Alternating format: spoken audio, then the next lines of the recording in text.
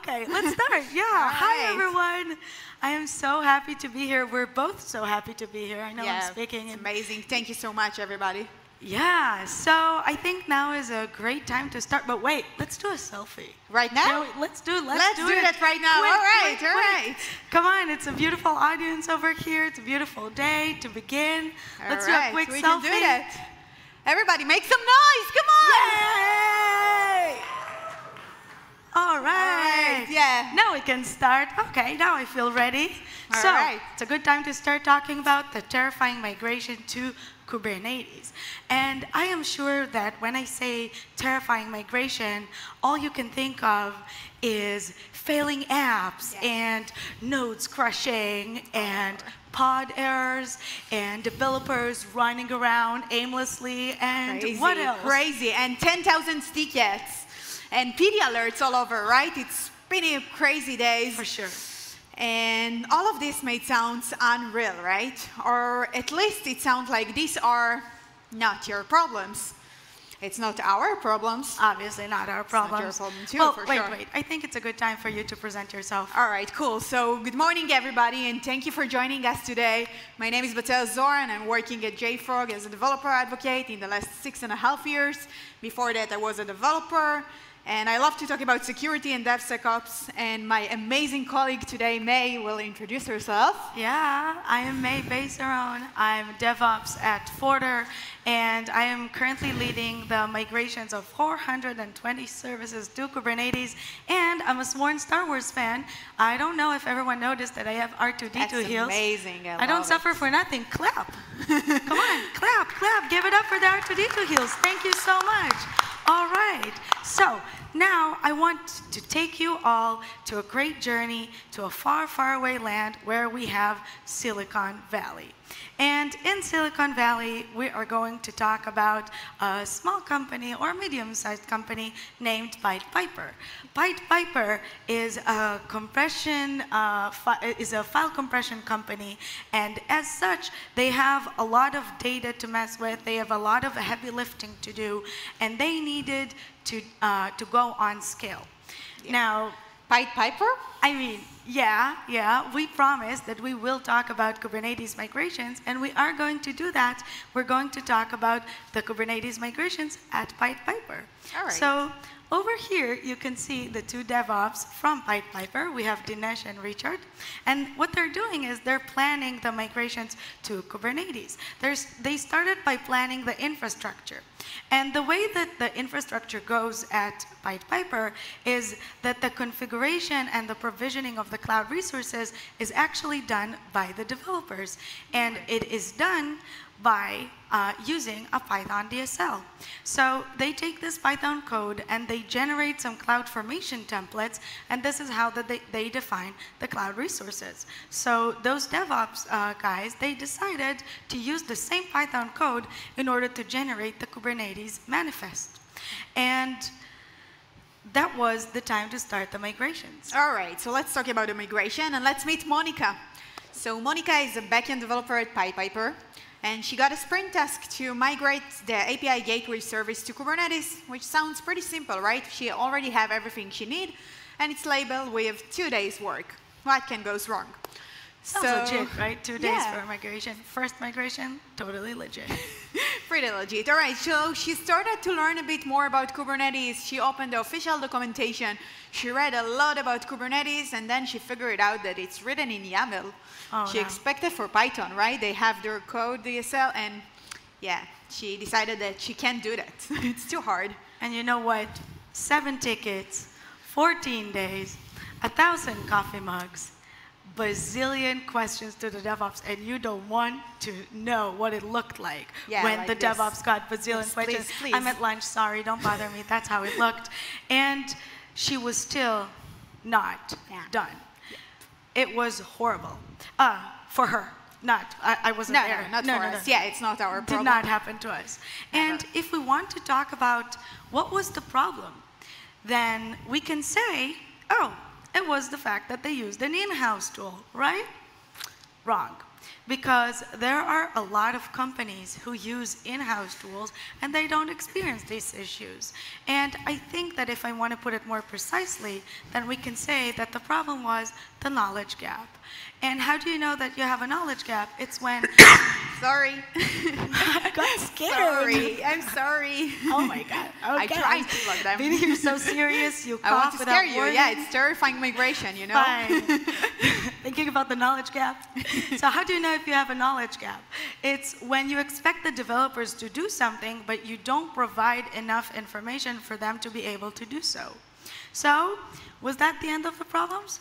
Not really. So it seems like everything was good. They celebrate. They have a great company, all-hands, and then suddenly they got PD alerts, like everybody here loves, right? So they got some errors. So, but wait, wait. A second before that, a few hours, they just had some great, great issues. Just another slide, please. so they already migrate everything. They were so sure that everything working perfectly. So they decided to remove the old migration, right? Why they need to pay for it? Everything works so good that they don't need this old EC2 thing, right? So they have their Kubernetes environments and tons of PD alerts in the middle of the company all-hands. They took their laptops, start to debug everything, and see what all of these 500 errors. So let's go back one step and talk a bit about the environment. So it looks pretty simple, right? We have our Kubernetes application, we have our bucket, S3 bucket, and we have our database, and everything should work perfectly because they just copy the configuration from the old environment. They still have their security rules, they still have pretty similar S3 bucket and databases. So, and one thing was missing, actually, the IRSA rule. They already have their security rules, their firewall rules, and it seems like everything should work perfectly because they tested a bit and the services was running, but whenever we're talking about thousands of services, it's a bit more complicated. In some cases, it's really worked perfectly and sporadically, actually, it's working, right? And it seems like it's good. But in some cases, we got 500 errors from the database, so we couldn't connect to the database. The application won't run. And after one hour and a half, something like that, maybe even two hours, in the middle of the company elements, they figured out that the firewall in the IRSA rule was blocking some of the cases, and therefore they can connect to the database. They fix it after talking to the amazing security team, but still, it's taking time, right? So the problem here is actually to unknown the unknowns. Sometimes it won't work. We don't know why. We don't know even if you test it. Something could go wrong, and we'll talk about it later. Right. Yeah. So I want to say that there was another problem, but Yeah. I think that there were many other problems, to be honest, Yeah, for them. Again, we're still talking about this Pied Piper company. Not us. And not us, definitely. Not me, not you, not you. No, it's not related No, to not you at you. all. Yeah. So now the next thing that I want to share, like the next problem that they had was um, they just wanted to do a very basic uh, day two operation, which is to upgrade the Kubernetes version. And once they started to do so, they started experiencing errors. One by one, everything was going down and going crazy. And you know, if I will just take you to the point of it, the problem was uh, lack of uh, configuration. Configuration. Oops, yeah, I, okay. Now you know that it No wasn't the problem, but actually it was. The problem was that they had lack of configuration, they didn't have uh, configuration for order of termination, or lack of uh, pod disruption budget. Now, I already showed you this slide because I wanted to say that this is the problem, the lack of configuration. But again, that's not really the problem. Because sometimes if you do have a problem of lack of configuration, it still does not mean that you will experience all of these errors or you can come back from them very quickly. So what does it mean if it wasn't the problem that they had like lack of configuration? The problem was very simply that they were not ready. Ready. That's it. That, that's the issue. All of the, those things that we've been talking about, it's for us to show you how the fact that they were not ready affected production. Yep. That's it. We're not ready. That's so it. I want to say that there is a light at the end of the tunnel, but actually there are three lights at the end of the tunnel. Three lights. Come on, let's look like a light. Okay, it's firecrackers. But Yeah, still, exactly a it's, light, it's kind of a light. alright. Let me show you. Let me show them. All but right, there is light at the end of the go tunnel. Let's talk about the first uh, light. So the first thing that you want to do is you want to have uh, mindset migration. What it means is that you want to first overcome the knowledge gap that your developers have. And in order to do that, you need to understand that documentation is crucial. So you have to prioritize it accordingly. You need to provide with the information that you want your developers to know. And the next thing that you want to remember is that communication is key to success.